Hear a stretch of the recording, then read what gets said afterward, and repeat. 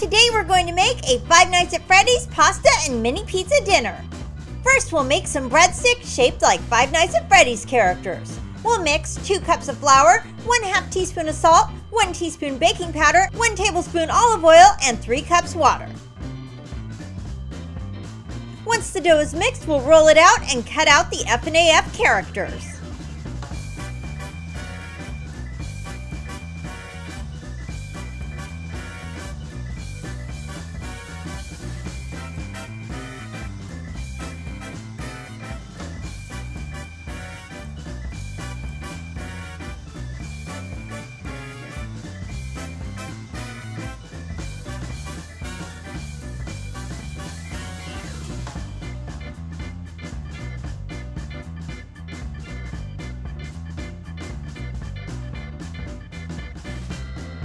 We'll use food coloring to color them in.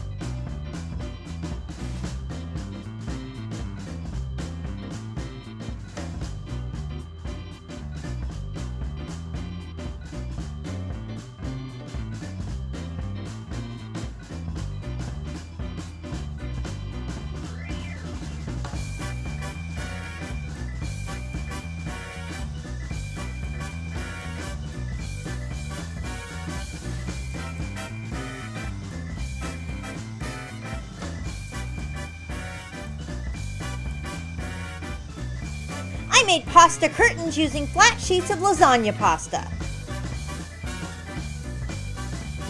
I boiled them in some water, then painted on food coloring to color them red.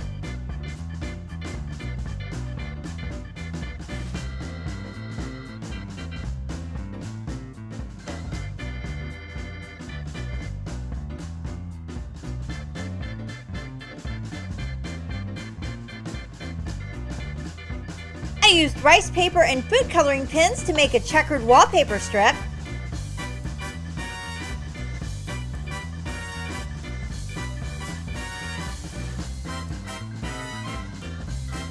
Then I added sauce, cheese, and mini pepperoni pizzas to the mini pizzas.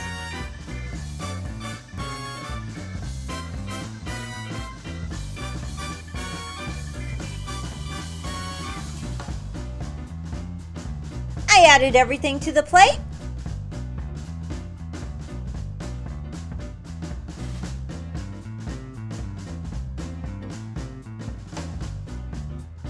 And that's it. Now we have a Five Nights at Freddy's pasta and mini pizza dinner.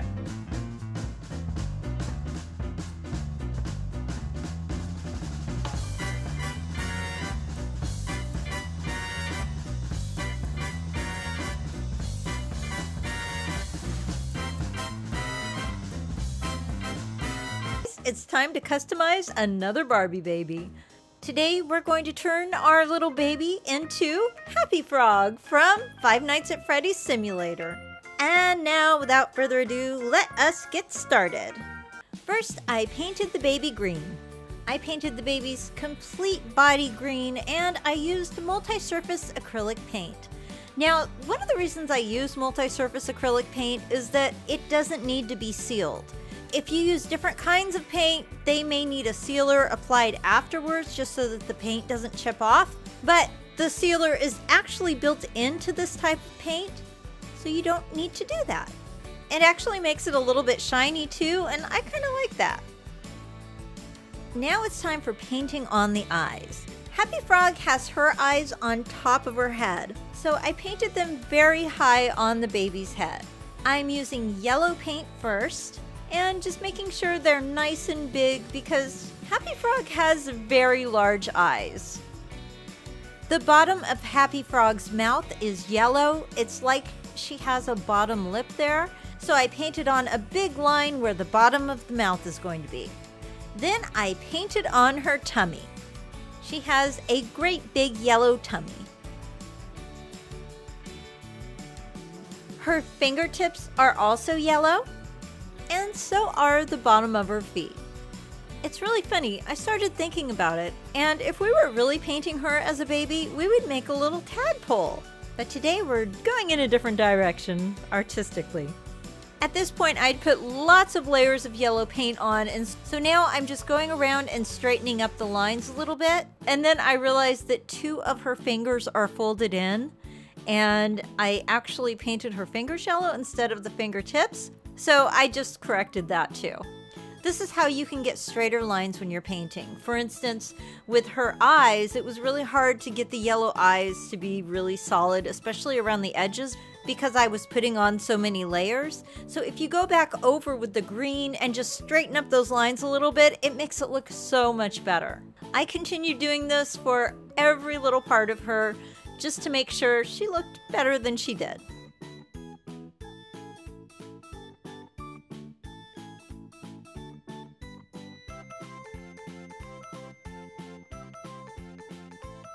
I painted on the black parts of her eyes, and this is where her eyes are going to sit. It's almost like her eyes are sitting in this big empty space. I don't know if that's what they were going for or not, um, because it looks like she has eyelids as well. But no matter what it really is, we have to paint in this big black section of her eyes. I added her mouth, and just like all Five Nights at Freddy's characters, she has a very large mouth. I pulled it down to the bottom so that it would meet that yellow line so that it looks like her mouth is open a little bit. I added her eyelashes. And for her little frog nostrils, I added those right where the baby's nostrils are, and it actually worked out really well.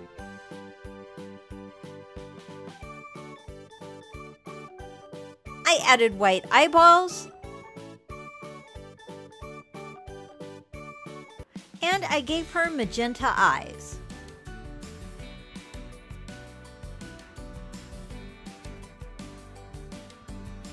Happy Frog has four teeth. She has two teeth up top, and she has two teeth directly below her top teeth. Okay, that's looking so, so weird. But in a good way, because Five Nights at Freddy's characters aren't usually cute and cuddly. They look a little weird. For the top little dangly thing on top of her head, I think she's a remote control character and that's supposed to be part of her antenna. I decided to use one of the little balls off of this ribbon. But as it turns out, these little balls fall apart really easily. They're, I don't even know how they're staying on there at all. So that couldn't be used, so I went on to plan B, which I just thought of when plan A went to pieces. I had this little jewelry wire, and I put a bead at the end of it and hot glued it in place.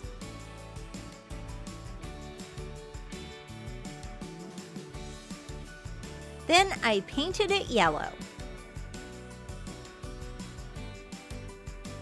I cut off the end, and that was too big, so I cut it down even smaller, and then I hot glued it on top of Happy Frog Baby's head. Ta-da! And that's it! We have a cute little Happy Frog baby. I actually kind of like this one after it was all complete. I think she's really, really cute in a really fun Five Nights at Freddy's way. Of course, she looks weird, but the weird is wonderful. I started thinking, what if Five Nights at Freddy's had a daycare? What would a commercial for that daycare look like? I think it would look something like this. You may know Five Nights at Freddy's as the most popular pizzeria for children. Childhood dreams come true at Five Nights at Freddy's. But now there's Five Nights at Freddy's Daycare. Take your children to the happiest daycare on earth, where they can interact with their favorite animatronics. They'll play in the prize corner with Puppet. They can join Circus Baby in the scooping room for ice cream. There's dance class with Ballora. With so many fun activities, your children may never leave. That's right. That's where I'm gonna send my baby. It's the only place I trust, man. That's the place. Five Nights at Freddy's Daycare. It's the best daycare in town. Yeah. But now there's even more fun. Five Nights at Freddy's now offers night care. Some of the exclusive night activities include hide and seek from the animatronics trying not to open doors or turn on electricity until 6 a.m. And more. Be sure to check out Five Nights at Freddy's Daycare coming to a town near you. Now we get a bonus project.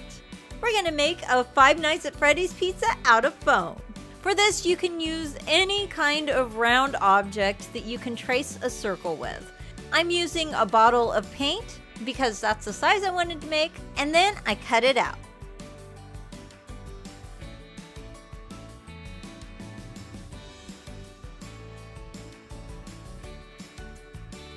I repeated these steps for the red foam and then I cut it just a little bit smaller. Now it doesn't have to be a perfect circle because we kind of want it to look like sauce and sauce is not perfectly round like the pizza is. I peeled off the backing and stuck it on the pizza. I cut another circle for the yellow and then I cut it around again, making sure it was smaller than the red circle.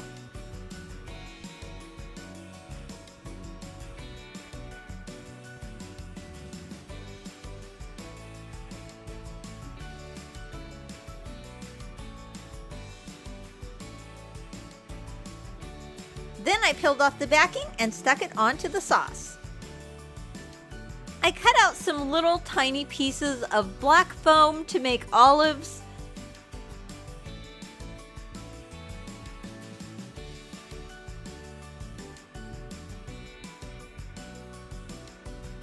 And then I placed them on the pizza.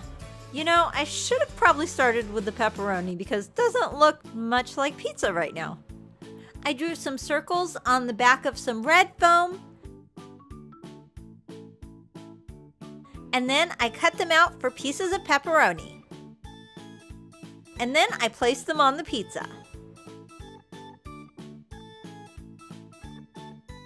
I decided to use some green foam for some little peppers and just kind of stuck them on there.